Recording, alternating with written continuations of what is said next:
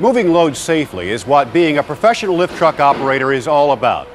In this module, you'll learn how to pick up a load with your truck, how to travel with a load, and how to unload your vehicle. But first, you have to know some basic principles of lift truck operation. To do that, we have to return to high school, third period, physics class. You know what? I always hated third period.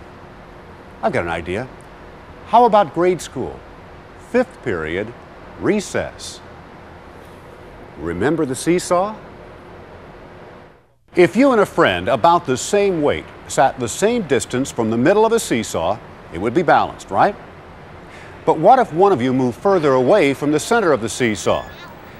Balance is also shifted if a heavier kid sits on one end of the seesaw the same distance away from the center as the lighter child. The same shift in balance also affects your lift truck. A lift truck is designed to carry loads forward of the front wheels so that the weight of the load is balanced by the weight of the truck. If you think of the lift truck as a seesaw, the center pivots at the front wheels of the truck.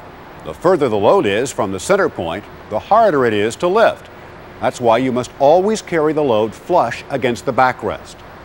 And just like the seesaw with the heavy kit, if you try to lift a load heavier than the truck's maximum capacity, the back of the truck could lift off the ground, causing you to lose control and very likely cause an accident. You must always know the maximum weight your truck can safely lift. The weight is clearly listed on the truck's identification plate. Recess is over. Time to get back inside class and discuss something called center of gravity.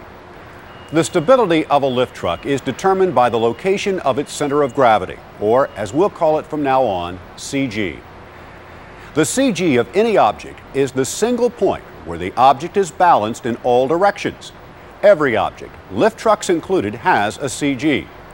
When a lift truck picks up a load, the truck and load combine to form a new center of gravity. The CG moves forward and back as the mast is tilted forward and backward and up and down as the mast moves up and down.